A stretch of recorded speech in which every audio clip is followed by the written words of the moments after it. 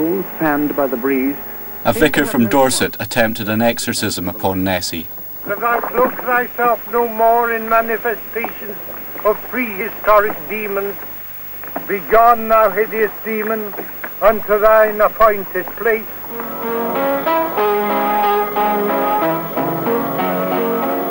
Birmingham musician John Sparky Sly tried to lure the monster to the surface with his piano.